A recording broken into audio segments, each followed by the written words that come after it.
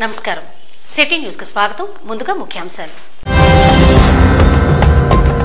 వివిధ ప్రాంతాల ప్రజల నుండి గ్రీవెన్స్కు ఎనిమిది అర్జీలు ఆర్డీఓ నరసింహులు.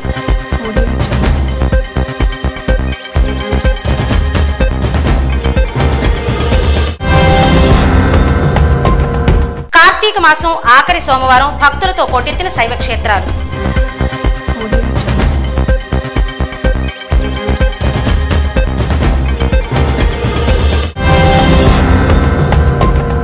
ప్రతి సోమవారం జరిగే గ్రీవెన్స్లో ఈ రోజున ఎనిమిది అర్జీలు వివిధ ప్రాంతాల నుండి ప్రజలు అందజేశారని ఆర్డీఓ నరసింహులు తెలియజేశారు. మున్సిపాలిటీకి సంబంధించి రెండు పోలీసుకు సంబంధించి ఒకటి డివిజనల్ పంచాయతీకి సంబంధించిన అర్జీ ఒకటి తహసీల్దార్కు రెండు నగరం తహసీల్దార్ పరిధిలో ఒకటి రెవెన్యూకు సంబంధించి ఒకటి అర్జీలు వచ్చినట్లు చెప్పారు. వీటిని సంబంధిత శాఖలకు పంపించి పరిష్కారం కోరతామని ఆర్డీఓ తెలియజేశారు. రైతులకు సబ్సిడీ ఇప్పించాలని కోరారని పంచాయతీ వర్కర్స్కు వేతనాలు రావడం లేదని తన దృష్టికి తెచ్చారని వీటన్నింటినీ సంబంధిత అధికారులతో సంప్రదిస్తున్నట్టు చెప్పారు ఆర్డీఓ. ఈరోజు సోమవారం రోజు రెవెన్యూ డివిజన్ పరిధిలో రెవెన్యూ డివిజనల్ ఆఫీసర్ కార్యాలయంలో జరిగినటువంటి ఈ గ్రీవెన్స్ డేకి ఇప్పటి వరకు ఎనిమిది అర్జీలు రావడం జరిగింది. ఇందులో మున్సిపల్ కమిషనర్ సంబంధించి ఒక రెండు అప్లికేషన్స్ రావడం జరిగింది. అట్లాగే పోలీసులకు సంబంధించింది ఒకటి అలాగే పంచాయతీ డివిజనల్ పంచాయతీ ఆఫీసర్కి సంబంధించిన అర్జీ ఒకటి. తహసీల్దార్ మండలాల్లో తెనాలి మండలంలో ఒక రెండు అలాగే నగరం తహసీల్దార్ పరిధిలో ఒక అర్జీ రావడం జరిగింది. అలాగే అత్తర రెవెన్యూ సంబంధించి ఒక అర్జీ రావడం జరిగింది. ఈ వాటన్నింటిపైన కూడా ఎనిమిది అర్జీలన్నింటిపైన కూడా చర్యలు తీసుకోబడుతుంది. అట్లాగే కొంతమంది రైతులు ఈరోజు ఇన్పుట్ సబ్సిడీ రాలేదని చెప్పేసి కొంతమంది రైతులు కూడా రిప్రజెంట్ చేయడం జరిగింది. అది బ్యాంక్ ప్రాబ్లం వల్ల బ్యాంకర్స్ ఇన్ఫర్మేషన్ ఇవ్వడం రానందు రానందువల్ల కొద్దిగా డిలే అవుతుందని అగ్రికల్చర్ అధికారులు చెప్తున్నారు. దీనికి సంబంధించి లీడ్ డిస్ట్రిక్ట్ మేనేజర్ అంటే జిల్లాలో ఉంటారు. వారితో మాట్లాడడం జరిగింది. వారు కన్సర్న్ బ్యాంక్ మేనేజర్కి సరైనటువంటి సూచనలు ఇచ్చి ఆ ఇన్ఫర్మేషన్ తొందరగా ఇమ్మీడియట్ ఇచ్చే విధంగా చర్యలు తీసుకుంటామని చెప్పారు. అంగలకుదురు రోడ్లోని జేఎంజే మహిళా కళాశాలలో రసాయనిక శాస్త్ర విభాగం ఆధ్వర్యంలో రసాయన శాస్త్రం పరిసరాల విజ్ఞాన శాస్త్రంలో సమకాలీన అభివృద్ధి అనే అంశంపై రెండు రోజుల జాతీయ సదస్సు ప్రారంభించారు. ఒడిశా ఉత్కల్ విశ్వవిద్యాలయం డాక్టర్ ఎస్కే బాదామలి స్నాతకోపన్యాసం చేశారు. ఏ పదార్థాన్నైతే తిరిగి ఉపయోగించుకునేటట్లుగా మార్పులు జరుగుతుందో అలాంటివి భూమిలో కలిసిపోయే కాలం తగ్గిపోతుందని చెప్పారు. గుంటూరు నాగార్జున విశ్వవిద్యాలయం డాక్టర్ ఏవిఎస్ఎస్ స్వామి మాట్లాడుతూ జీవక్రిమి సంహారకాల ప్రాముఖ్యతను గురించి వివరించారు. బాసర ట్రిపుల్ ఐటీ నుంచి వచ్చిన డాక్టర్ వి రవి కళాశాల correspondent doctor sister Trisha principal doctor sister Shiny sister Amul Mary K Nirguna Nirmala Jyothi Gita Bhavani Sumalatha పరిమళ జ్యోతి రమాదేవి తదితరులు పాల్గొన్నారు. జేఎంజే కాలేజ్ ఉమెన్స్ అటానమస్ వారిచే ప్రారంభించబడిన రెండు రోజుల జాతీయ సదస్సు యూజీసీ ఏపీఎస్సిహెచ్ వాళ్ళ అనుమతితో ఈ పదమూడు పద్నాలుగు రెండు రోజులు జరగబడుతుంది.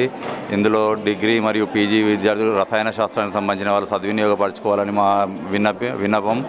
రెండు రోజుల సదస్సుకి మన ఒరిస్సా తెలంగాణ పక్క రాష్ట్రాల నుంచి వచ్చిన రిసోర్స్ పర్సన్స్ నుంచి మంచి కెమిస్ట్రీ అండ్ పర్యావరణం సంబంధించిన అనుభూతి అనుభవాలు పంచుకోవాలని నేను కోరుతున్నాను. ఈ సెమినార్ టాపిక్ ఏంటంటే recent advances in chemistry and environmental sciences.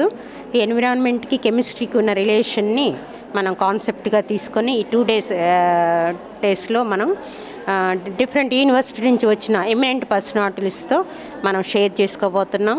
ఈ ప్రోగ్రాం ద్వారా దేవుడు వరమిచ్చిన పూజారి వరమియుడు అన్న చందాన మా బ్రతుకులు ఉన్నాయంటూ గత సంవత్సరంలో మినుము పంట నష్టపోయామని అందుకు ప్రభుత్వం స్పందించి నాలుగు వేల రూపాయల నష్టపరిహారం చెల్లించేందుకు ఉపక్రమించిన బ్యాంకు వారు రైతులకు సహకరించడం లేదని తెలుగుదేశం పట్టణ రైతు ప్రధాన కార్యదర్శి తెలుగు రైతు చిన్నం రాజారావు ఈదర పూర్ణచంద్రుడు పలువురు రైతులతో ఆర్డీఓ నరసింహులు కలిశారు.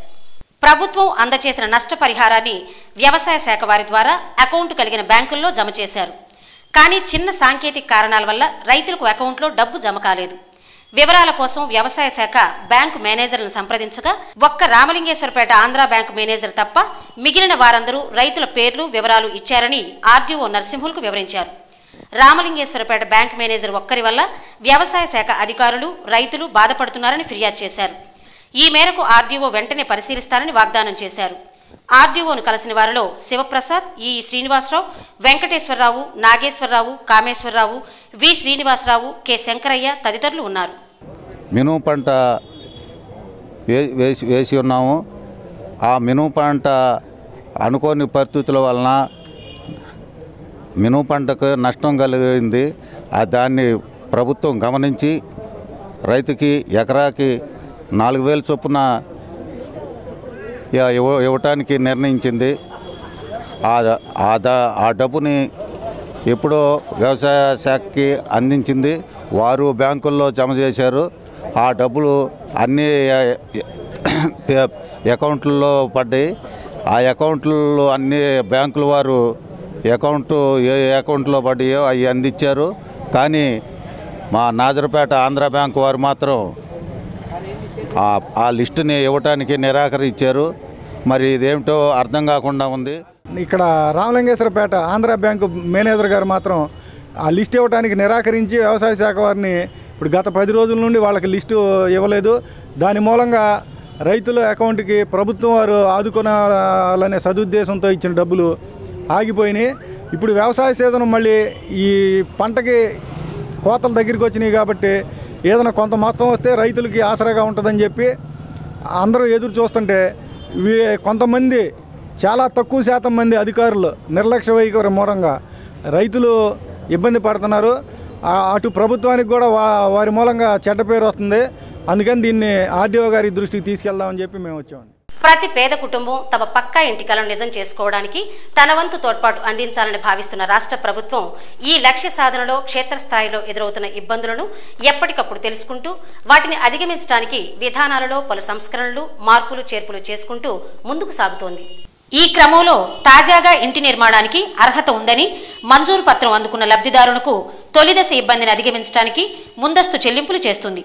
దీనితో పలు గ్రామాల్లో గృహ నిర్మాణాల ప్రక్రియ వేగం అందుకుంది. ఈ విషయంపై గృహ నిర్మాణ ఏఈ బసవయ్య మాట్లాడుతూ ఇళ్ళు తెలుగువారి ఇష్టమైన పండుగ సంక్రాంతికి సిద్ధం కానున్నాయన్నారు. తాజా కార్యక్రమం పూర్తి చేయాలన్న లక్ష్యంతో అధికారులు పల్లెబాట పట్టినట్లు ఏఈ చెప్పారు. తొలిసారిగా లబ్ధిదారుకు ముందుగానే సిమెంటు కొంత నగదును అడ్వాన్స్గా ఇస్తున్నారు. దీనివల్ల బేస్మెంట్ నిర్మాణానికి మార్గం సుగమమైంది. ఎన్టీఆర్ గ్రామీణ పథకంలోని లబ్ధిదారులకు ఇరవై బస్తాల సిమెంటు పదివేల రూపాయల నగదు ఎన్టీఆర్ హౌసింగ్ పథకంలోని వారికి పదిహేను బస్తాల సిమెంటు ముందుగా అందిస్తున్నారు. ఈ విధంగా ప్రారంభ అవరోధాన్ని అధిగమించిన తర్వాత ఇప్పుడు గ్రామీణ గృహ నిర్మాణాలు వేగంగా ముందుకు సాగుతున్నాయని చెప్పారు. ప్రభుత్వం సిమెంట్ తయారీ కంపెనీలతో మాట్లాడి పేదల ఇళ్ళ నిర్మాణాలకు నాణ్యమైన సిమెంటును తక్కువ ధరకు ఇస్తున్న విషయం విదితమే.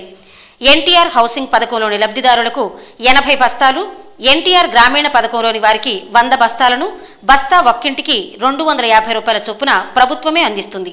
సిమెంటు విలువ మొత్తాన్ని బిల్లులో నుంచి మినహాయించుకుంటారు. బహిరంగ మార్కెట్లో సిమెంట్ బస్తా మూడు వందల యాభై రూపాయలు ఉన్నట్లు ఈఈ బసవయ్య చెప్పారు. అంటే పట్టణాల్లో వాళ్ళ స్థలంలో వాళ్ళు ఇల్లు కట్టుకునే స్కీమ్ ఉన్నది. ఆ స్కీమ్ జనాల్లో ఏడు వందల పంతొమ్మిది పొన్నూరులో తొమ్మిది వందల డెబ్భై ఐదు బాపట్ బాపట్లో రెండు వేల రెండు వందలు ఆ, రేపల్లో రెండు వందల నలభై ఉన్నాయి. ఇవన్నీ కూడా మున్సిపల్ లాగిన్లో రిజిస్టర్ చేయమని చెప్పాము.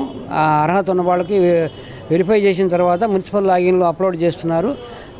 అట్లా ఇవన్నీ కూడా ఏవైతే శాంక్షన్ అయ్యాయో అవన్నీ కూడా అప్లోడ్ చేయాలి. ఒకవేళ ఇందులో ఎలిజిబుల్ ఇనెలిజిబుల్ కేసులు ఉంటే వాటిని తీసేసి కొత్తగా అప్లికేషన్ స్వీకరించి వాటిలోని ఎలిజిబుల్ని ఫైనల్ చేసి వాటిని మున్సి మున్సిపల్ లాగిన్లో అప్లోడ్ చేసినట్లయితే వాటికి శాంక్షన్ పంపడం జరుగుతుంది. కార్తీక మాసం సందర్భంగా గోపూజ రుద్రాభిషేకం శివ కళ్యాణం దీపోత్సవాన్ని అత్యంత వైభవోపేతంగా బుర్రిపాలెంలోని సినీ నటులు కృష్ణ ఇంటి వద్ద నిర్వహించారు. గ్రామస్తులు శివపార్వతుల విగ్రహాలని శోభాయమానంగా అలంకరించి గీతా మందిరం నుంచి సినీ నటులు కృష్ణ ఇంటి వరకు భారీ ఊరేగింపుతో తీసుకువెళ్ళారు. అక్కడ స్వామివార్ల విగ్రహాలకు విశేష పూజలు జరిపారు.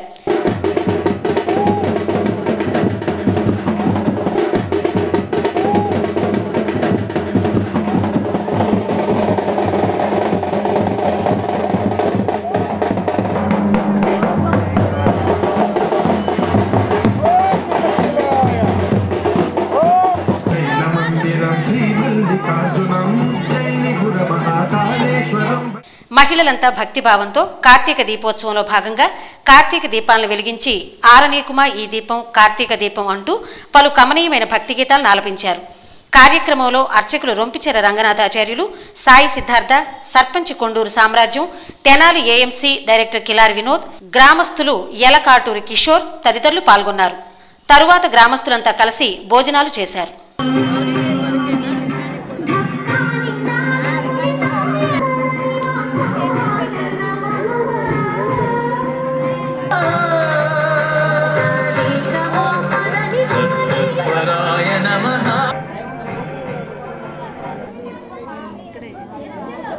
ఆ దేవదేవుడైనటువంటి ఆదిదేవుడు ఆది దంపతులు పార్వతీ పరమేశ్వరుల యొక్క సంపూర్ణ అనుగ్రహ వీక్షణ కటాక్షాలు మనందరికీ ఉంటాయని భావిస్తూ మీ అందరికీ కూడా ఆ స్వామివారి కృపా కటాక్షణాలు. తదుపరి రోజుల్లో కూడా ఇదే విధమైనటువంటి భక్తిని ఎట్లాగైతే మనం పరిపాటిస్తామో ఆ విధంగానే మన అందరికీ కూడా ఆ స్వామి సకాలంలో ముఖ్యంగా వర్షాలు కురవడం పంటలు పండడం అందరికీ ఆరోగ్యకరమైనటువంటి వాతావరణం రావడం చాలా అవసరం కనుక ఇలాంటి పుణ్యప్రదమైన కార్యక్రమాలు చేసుకున్నట్లయితే ఇప్పుడు ఒక చిన్న విరామం.